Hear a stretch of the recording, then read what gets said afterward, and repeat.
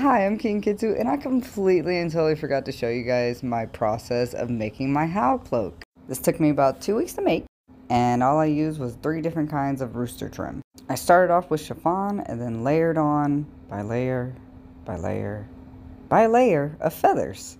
Sewing through the trim of the feathers was actually very difficult to get through. I spent about a week on just the bottom half of this cloak. But once I got through that halfway point, it was pretty much easy sailing from there. There were a few bald spots here and there, but it was really easy to fill them in. I absolutely loved how this turned out. I loved everything about it. Um, I'm definitely doing this again, whether it's for cosplay or custom orders, which by the way, I do have two slots remaining for my custom orders, and you could order a cloak if you want. I do know that a few One Piece characters have some feather cloaks. I definitely want to try making one with a different kind of feather though. If you have any other ideas for feather cloaks, please comment below and thank you for watching.